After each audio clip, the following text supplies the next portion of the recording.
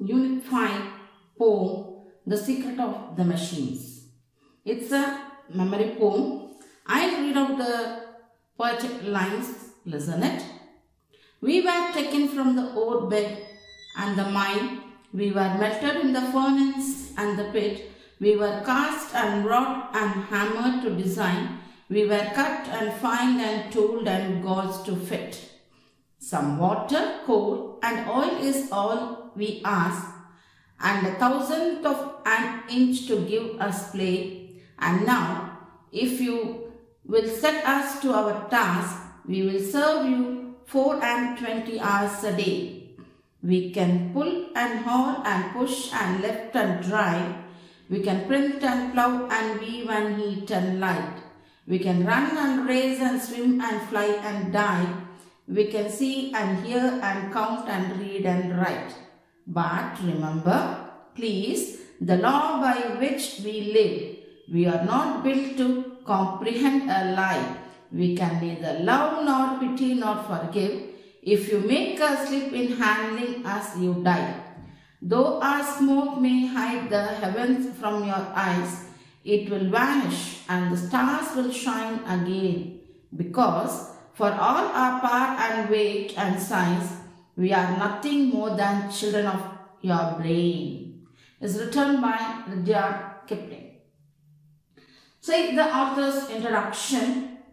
Rudyard Kipling was born on December 30, 1865 in Bombay, India.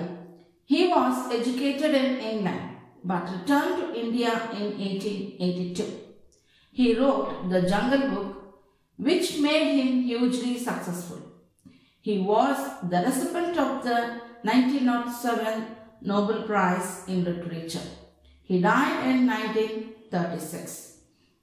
See the key points of the poem. In the fast moving world, we humans depend solely on technology and machines to make our life a comfort. In the beginning of the poem, the poet at first takes the machines to the top, but finally he says they are not miraculous creations. They are nothing more than creations of the human brain. See here, I am going to give the explanation stanza wise. See the first stanza, here we refers to the machines. Machines talk about themselves. The poet tells us about how the machines were produced. We, machines have our origin in ore bed and mines. We were made from metals and materials taken from the earth. The ore extracted was purified and melted in a furnace. It was cast in molds to make parts for us. Some of our parts were made by hammering the metal. According to some shapes, parts of the metal so obtained were cut and filed.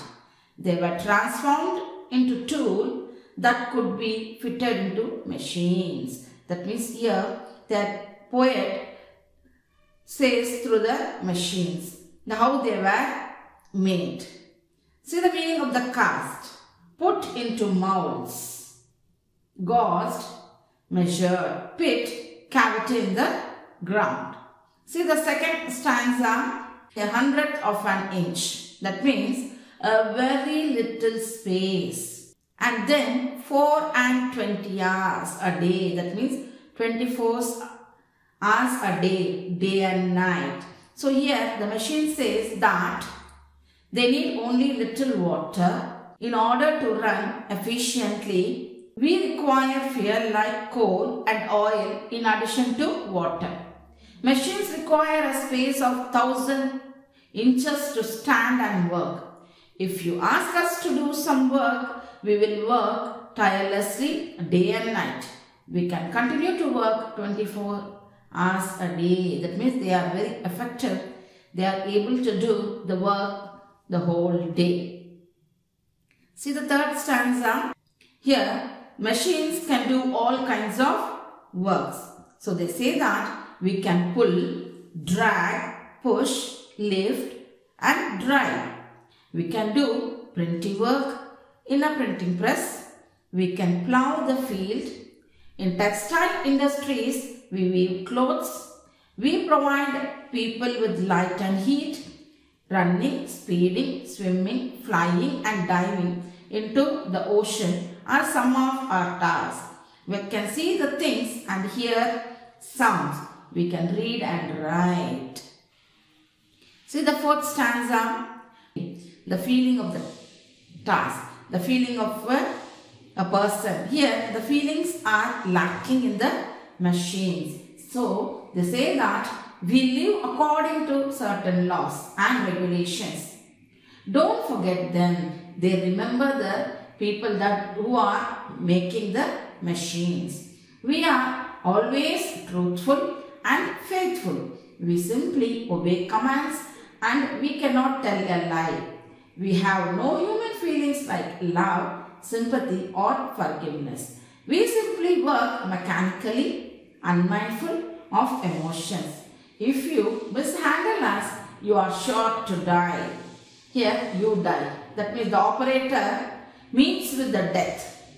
Make a slip. What is ma- make a slip? Commit a small mistake. That is called make a slip. When the commands are given to the machine, then the human being should be very careful. See the fifth stanza. So here again the machine says that we give out smoke. We everybody know that when machines work, they give out smoke. So they says we give out smoke. The smoke rises high and hides the sky from your view. But the smoke does not linger there forever. Linger means stay. It gets drifted away and becomes diffused. Then you can see the heavenly bodies like stars twinkling bright in the sky. We are powerful, we are huge, and we are heavy. In spite of everything, we are the brainchild of human beings. We owe our existence to the invention and innovations of human race. See the last line what they say is children of your brain. That means born out of your inventive ideas. That means only first they says that we are doing everything, we are doing everything. But at last they says that they are the children of the human brain. Only the humans can command the machines, make the machines, everything can be done only by the human beings. So it tells to be very careful in handling the machines. இந்த video பிடிச்சிருந்தா மறக்காம subscribe பண்ணுங்க மக்களே